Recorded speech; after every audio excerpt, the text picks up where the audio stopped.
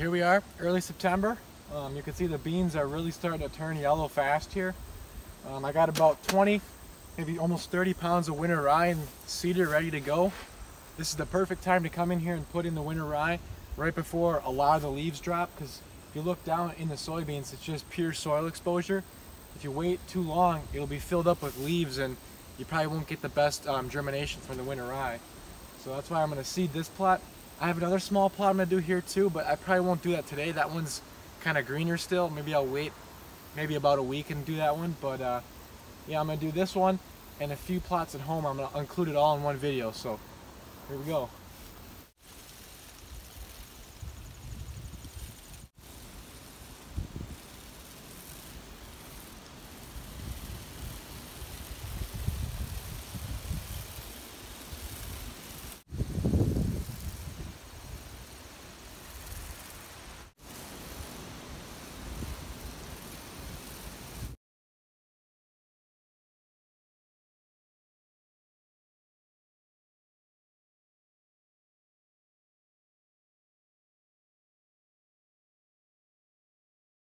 You can see this area is just probably barely an eighth of an acre in size. You can buy a bag, 56 pound bag for $21. I'm gonna try and put a lot of my areas of winter rye this year in around 100 acres, 100 pounds per acre. Um, so I probably will only need to use maybe like half that bag or so. Um, you can't really overseed winter rye. You just wanna get it in nice and thick so it looks like a green carpet underneath the standing soybeans. The reason why I'm doing it on this plot is so I can just no-till the soybeans into this next year. I won't have to till up the ground because it's on a hill here and it's just kind of hard to get the disc up here and everything. A lot of our other bigger bean fields, I'm not going to put any winter rye in because we're going to plan on tilling them up next year. I'm just going to do this in areas where I plan to no-till next year. Either no-till buckwheat into it or no-till soybeans into it next year. Well, you can see down here, all those seeds right here. Some of them are sitting on top of the leaves, but I think they're still gonna, there's not a ton of leaves down here yet, so we should get pretty good germination. There's a lot of rain forecasted after this weekend. So, see all the seeds right there.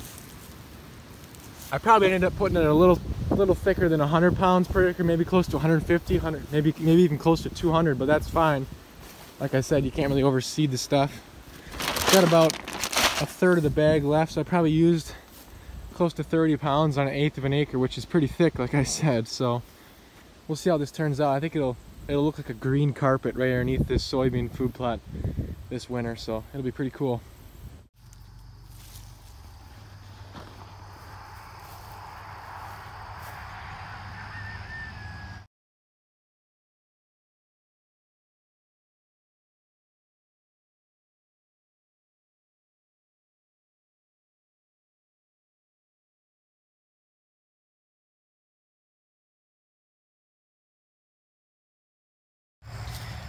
You can see these plants are, this area of beans was planted really thick, too thick.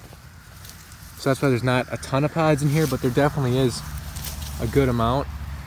Um, I'm putting in the winter rye. You can see all the seed down in here.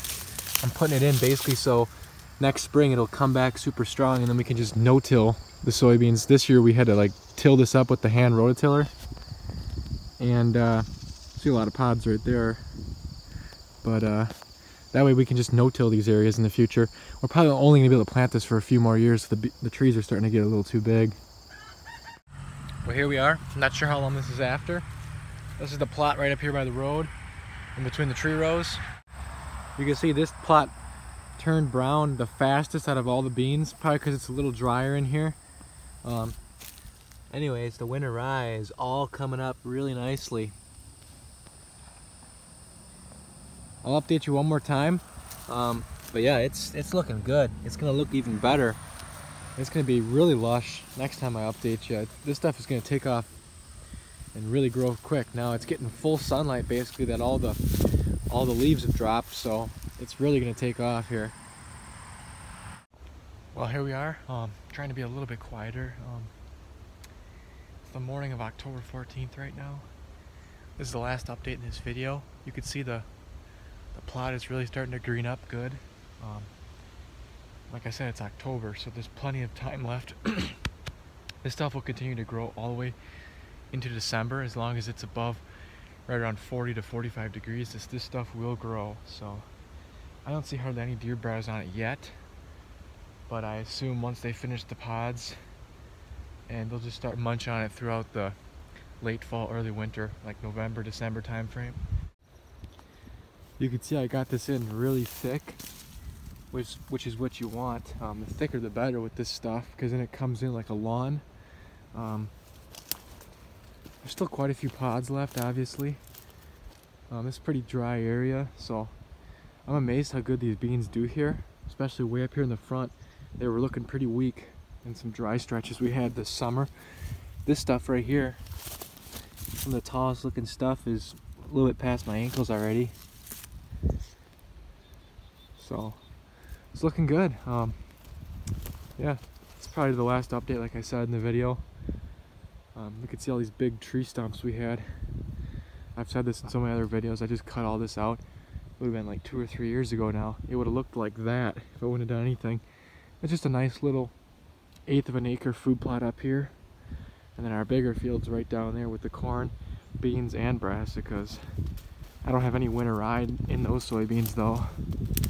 Here I'm planning on doing um, the no-till beans method. This winter rye is going to come up, be about waist to chest high next uh, late spring, early summer, around June. I'll broadcast a bunch of beans back in here, crush it all down and spray it, and we'll have no-till broadcasted soybeans in here next year. These ones I worked it all up and uh, hand drilled. I think I broadcasted a few. But uh, yeah, with this winter rye here, I can just crush and I won't even need to till this area again. Well, here we are. Last update in the video. It's really not growing too fast just because, you know, it's getting later in the growing season and everything. But uh, this stuff it will continue to grow throughout the winter a little bit by little bit and uh, yeah the in the spring it comes back like crazy and uh, the deer will munch on it in the spring too so thanks for watching the video um, hope you enjoyed it um, this is probably gonna be the last food plot planting video obviously I'll have some food plot updates um, probably coming out after gun season that'll be early December, maybe some mid-December, something like that. So that'll be the next food plot videos. Till then, it's just gonna be all hunting videos. I know they don't get many views, but whatever. Um, yeah, catch you in the next one, guys.